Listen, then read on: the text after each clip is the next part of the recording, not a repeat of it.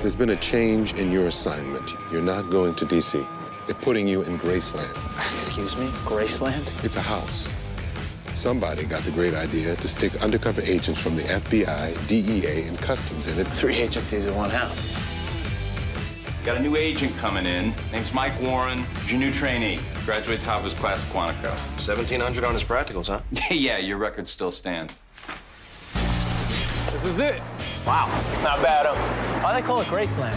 They seized it from this drug lord, some hardcore Elvis fan. Name just kind of stuck. Yeah, you got a girl? No, no, I'm, I'm here to focus on the job. Yeah? Let me know how that goes for you. You're Agent Briggs. I'm honored to be training with you, sir. Good attitude, Warren. You familiar with the chore wheel? I am, sir. Okay.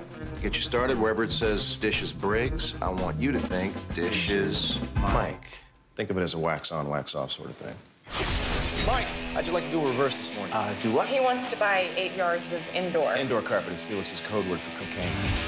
All right, so Agent Warren. Yes. This is gonna be a simple reverse, okay? You're gonna walk in the spot, you're gonna make the deal, you're gonna give us the bus signal, okay?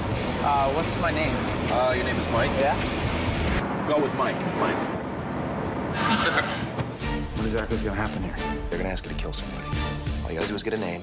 You come back to us. That's it. Look at me, Mike. You can do this. You got exactly one hour to become this guy. Your wife's name is Katerina. Wait, wait, wait. My wife is Katerina or Felix's? You don't have to do this. Yeah, but if I don't, what happens to that family? Are you nervous?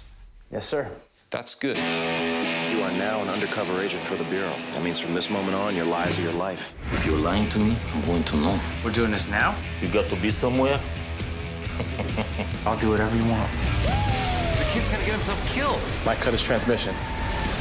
You're gonna find out real fast there are no secrets at Graceland. Did I scare you?